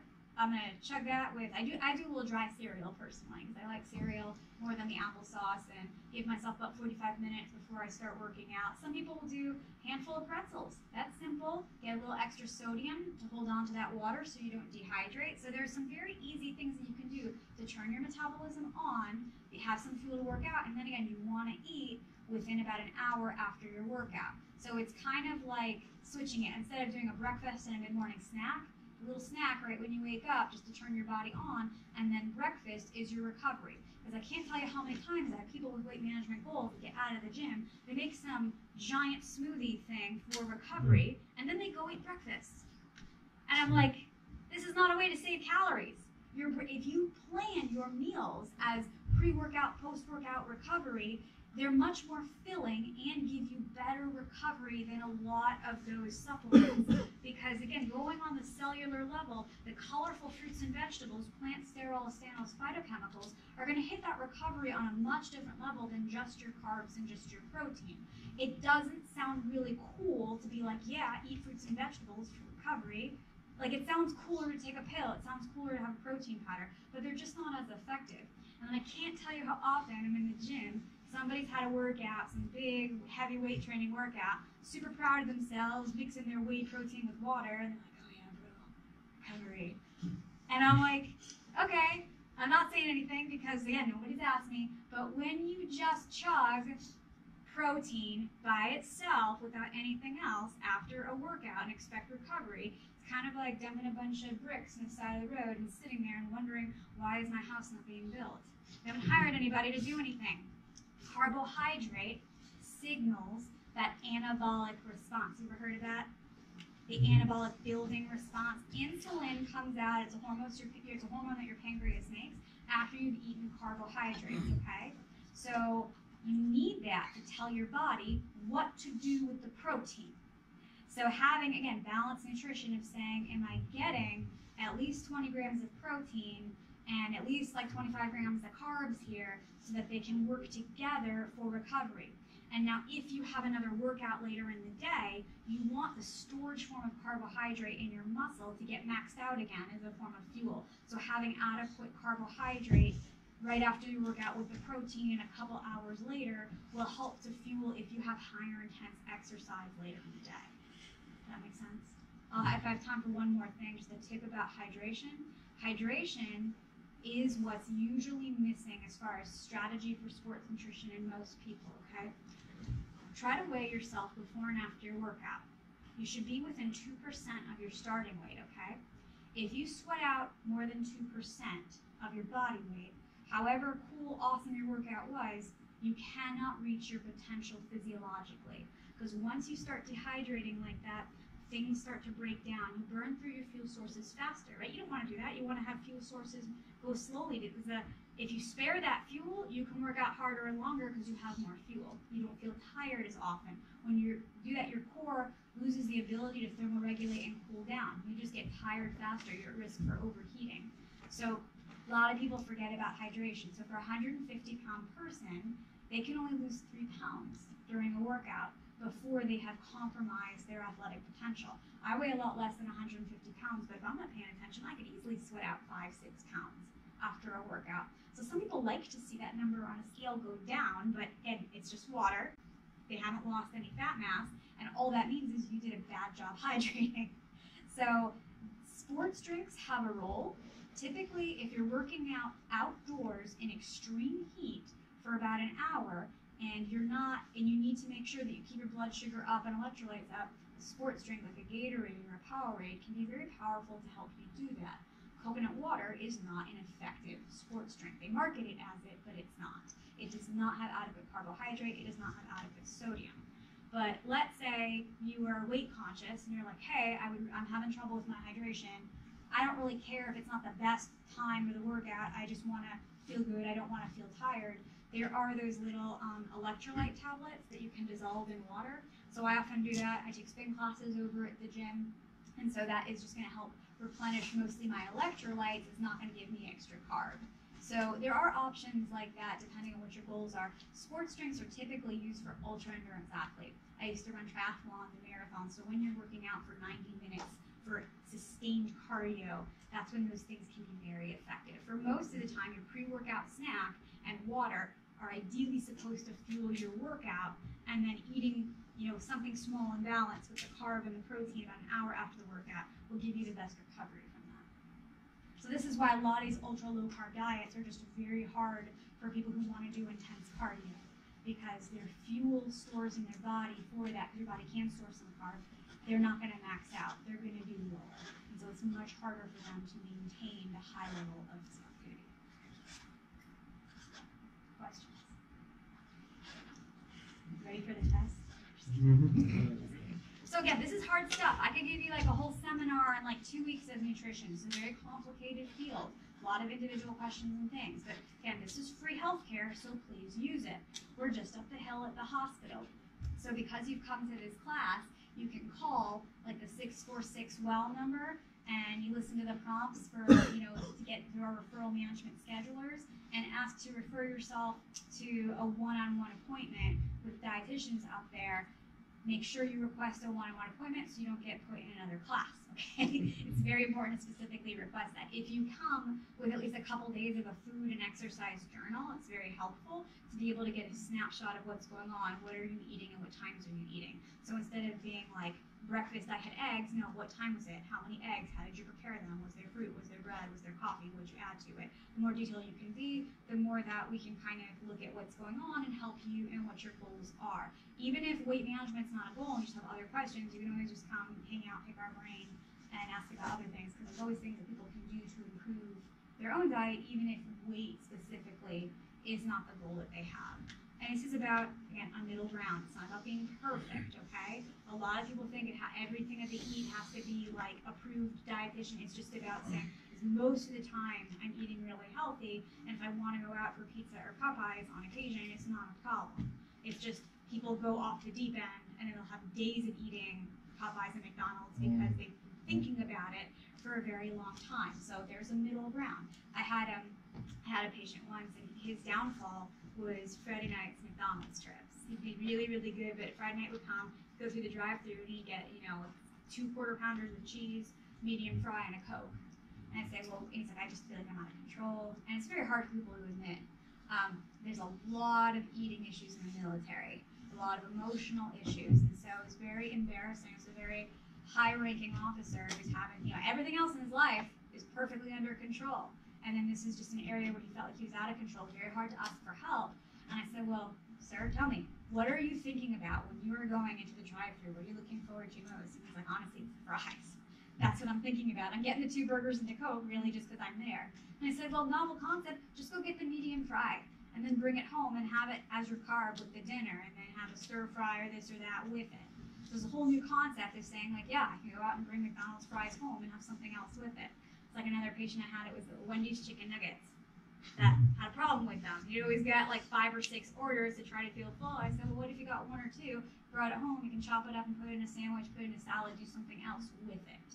So it's not all or none. Get out of that mentality because again, just because you want to eat healthy, those temptations don't go away. If you keep them as you know forbidden fruit, no pun intended, that's likely when the binge happens because you're just restricting yourself rather than thinking, I gotta live with this food around me. How can I work it into my plan? And again, that's what we're here to do. Yes. Um, earlier we talked about the basal metabolic. Yes. Um, I think I've done something like that before, where I put something up and measured it. Mhm. Like, uh, Yep. have something like that on Island? We had one. I don't know if we still do have it. I'll need to check. I've only been here for a few months. So these are usually called metabolic carts, where you fast and you don't have any caffeine for three hours prior to coming in. They hook you up to this mask and this tube, and you just breathe normally for about 15, 20 minutes or so. And by inputting like your age and your weight and measuring the rate of your oxygen consumption to what you're going out with CO2, it's a cool process that they can do a pretty accurate, me- you know, indirect measurement of what your metabolism is. We have math formulas that most of the time come really, really close to that. On occasion, I see someone who runs a little bit higher, a little bit lower, and we adjust it. The good, I mean, it's great knowledge to have, but at the end of the day, I don't need that to treat somebody. Let's say I have you on a lowish calorie diet and you're not losing weight. Well, obviously your metabolism is a little lower than that, so we're just going to bring you down anyways. So it's it's cool to know.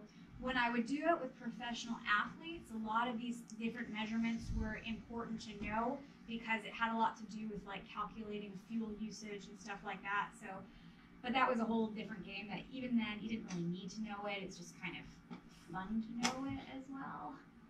So, but again, in the military, remember, different body types and different stuff have different benefits. Some of my colleagues are the SEAL team dietitians out in San Diego.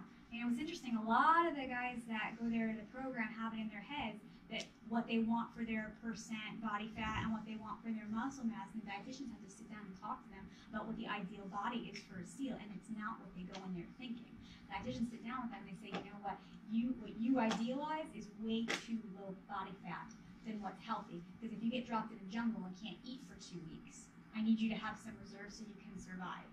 So again, it's, it's just interesting to think about again that what you envision might be perfect for this military thing might actually be not be perfect depending on what your job is and all of that. So there are different ways to be healthy. There is a range of body types. So well, thank you guys so much for inviting me here today. I appreciate it very much. Thank you for coming, ma'am. Please just uh, give us a call if you want to come visit us. It's gross as well. Christian, on the second floor, right? Yes. Yes, that's correct. We can bring like our Well, spouse and this stuff, is to talk to you. Yeah, the more people you can bring that are involved. All these- all All these the stack better. counselors, where you guys So want if proper I see details couples back to together, their we've got taskings. older children that are involved, I'll we'll be bring everybody until you get ready. so that You and the kids as well? if Hi, they're let's go eat and interested get in fed. learning and. All right,